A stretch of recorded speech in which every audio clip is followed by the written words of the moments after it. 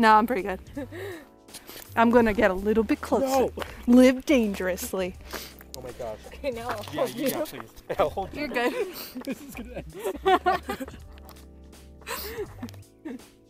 They're so cute. Uh, Good morning, guys. It's Sunday morning.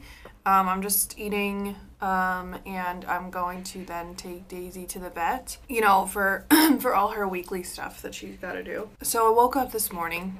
Uh, it was probably I wake up fairly early, early for me, maybe not for you, but it was like shortly after. It was maybe around like six thirty. And I always wake up around that time because I have to take Daisy out. So I, I take her out, and then if I don't have like school or anything to do, I go back to sleep, which really probably isn't the best idea because I always like, I feel like complete trash for the rest of the day. Um, you know, if I go back to sleep, I probably would feel better if I just woke up and like got up and did whatever. But I don't know, I don't really like to be awake at that time for some reason.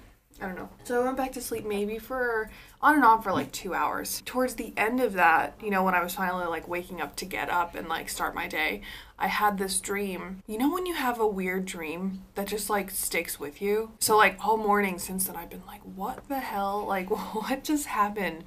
But, um, it was a lucid dream so like i knew i was dreaming and i didn't want to wake up because and i was fighting waking up because i wanted to see like what was going to happen. It was like watching a movie. Like i know i'm going to be fairly vague about this because it doesn't really matter but um, it was a dream about somebody that um, i have pretty successfully tried not to think about. Like i said i know that this is very vague but i don't know who watches these videos and i don't want to like say any names or like point anybody out but this is someone you know that i don't i don't have contact with anymore. In this lucid dream it was like i wanted to see what was going to happen when i confronted them. And i've had other dreams kind of similar to this and i don't know why.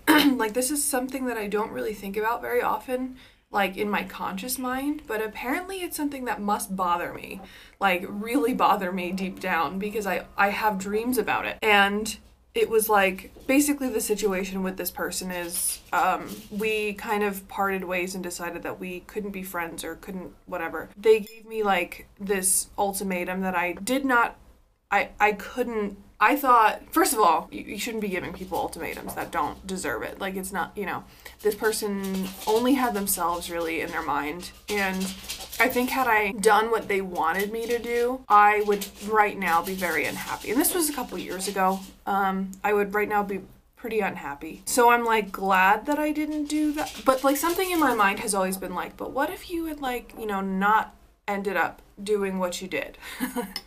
like I said, I know this is super vague. If you know me, you probably know exactly what I'm talking about. Yeah, I don't know. So I I guess subconsciously or on some conscious level, I don't know, whatever. This must really still bother me. And also what bothers me is that um, you know, I had hadn't talked to this person, hadn't thought of them, and then like randomly out of the blue not too long ago they they messaged me. I didn't respond because I'm I'm trying to I'm trying to do my own thing and live my life happily and I don't want to invite toxicity into my life. Basically, so going back to the dream today. In my dream, I knew that this person had contacted me. I knew I like I was very conscious of what was happening. Uh, you know, like I said it was a lucid dream, so I was like in control of what was happening. And I guess because it was a lucid dream, it was very I made it as real as as if I was sitting here talking to you. Like it was clear as day. In this dream, I like confronted this person. I don't I don't think it was like satisfying what happened. I don't even know. Like I don't even know. That's why like I was outside, you know, I took Daisy out again after I woke up several hours after I had taken her out the first time, you know. And I'm standing out there and I'm like, "What the hell just happened? Why did I just dream this? Why am I thinking about this?" I don't know. It was just so strange. And even now, like I was getting ready, I was putting my makeup on, I was like doing my hair and I'm like, "What the hell? Why did that happen?" And I think what's like kind of upsetting about it is that since I knew I was dreaming and since I could like be in control of it, I don't think I did the right thing in the dream. You know what I mean? Like it's really weird. I have like guilt about what I what I did in this dream. It wasn't anything bad. It wasn't anything like and it wasn't anything like you know, it was just like really weird. I think I have a lot of things that I feel like I left unsaid in real life, not in the dream um, in real life. And that's why maybe I have dreams that I'm confronting this person about, like, hey, you did did me wrong essentially. I don't know, man. I don't know. Do we have any like dream therapists here that can that can help me out with this? This is weird, man. I'm gonna go ahead and eat my oatmeal. Weird, man. Super weird. I don't know. Not into it. Not about it. Not not how I'm trying to live my life right now.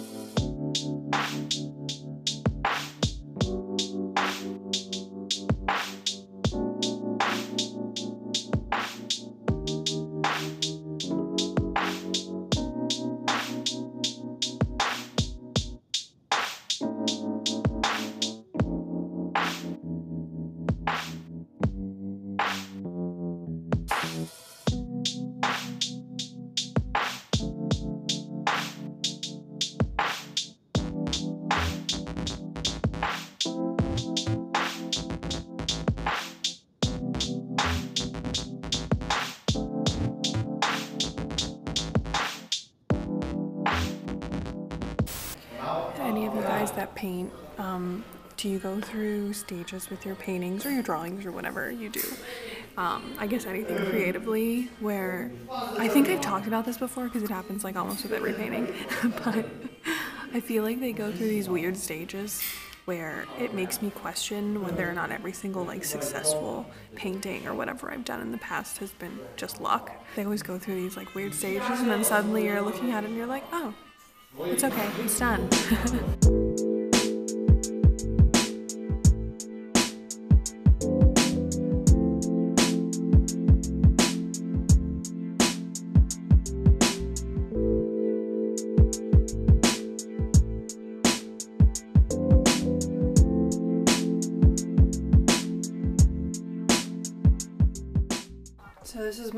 project for art history. Again, still don't quite understand this class and why I'm painting anything for an art history class, but okay. But this assignment we had to do something from dreams or related to dreams. And I recently had a dream that someone's face was getting cut off by um, the wire that you use to cut clay. So if you know what I'm talking about, then you know it's like a pull it tight and cuts through the clay. So I used, you know, my face obviously because I'm the easiest model to get a hold of. And then I just went online and found like cross sections of the human uh, head.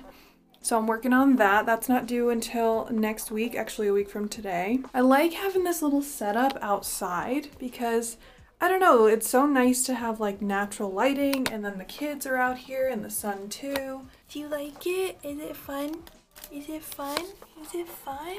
Yeah. But um yeah, I actually well, first of all, before I say anything, I know it looks like my eyes are like super crusty. It's actually I- don't know. It I had it and then it went away for a while. Now it's back. I had like I don't know if it's an allergic reaction to something or you know, it feels like, hey, hey, you don't need to eat anything in the garbage right now. But yeah, it feels like like my eyes are really tired, like they burn, and then the the skin around here is all flaky, and that's why it looks all crusty and it's all like red, and it feels like a cut, like it feels like I have paper cuts like right here at the corners of my eyes. It's like sometimes in the inner corners too. I don't know. But anyway, um actually I like that I can paint things for my art history class or like do whatever because one I don't have to write anything which is good because my writing is like really bad obviously in Chinese and I don't understand majority of what's going on anyway. And like on top of that I'm actually um, at the beginning of next semester so probably like September um, our class is having an exhibition and everyone has to have 10 pieces. I can use um, my little peep painting that I did for the first project. Since then, there was the Andy Warhol one, which I wouldn't use because it's not really my own style. It's not really, you know, my thing. If this turns out good, this, you know, this can go in. So that's, you know, two paintings there. Then I have at least two, well, at least one so far in class. So that's three. And then, you know, I have other ones obviously that I could use. And then I have the whole rest of the semester and the summer to make um, the other ones. But it's good because they kind of do like double duty then. And they're also like guidelines are so broad that I can kind of like finagle it to be whatever I want it to be. So, like, I feel kind of restricted with the last one. For this one, I'll just make it about dreams. Like, that it's so, so broad that I could do anything I wanted and, you know, just slap the label like, oh, this is like related to dreams in this way. So that's good. It, it like leaves it open and it leaves it so that I can manipulate it to be something that I would want to, you know, either show or display or whatever. So yeah, I'm just gonna work on this. I don't have class today. So that's good. Yeah, I don't know. I'm just enjoying this natural light and this nice weather. Feels good, you know? Feels good to like be painting things that I want to in styles that I want to and using materials that I want to. It's good.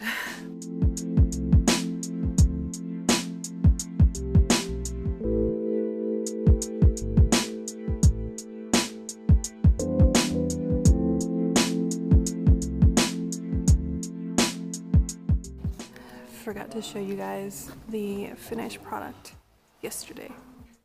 Close. Can you tell it's me? And here's where we are with this. I'm adding fish now. Her face looks like on camera. I notice like when I'm trying to take pictures and video, her face looks like super bloated. I guess it's the way that like the shadows are catching. It looks like she's like, I don't know. But in person it looks fine, but I don't like the way that it looks on camera and I don't quite know why.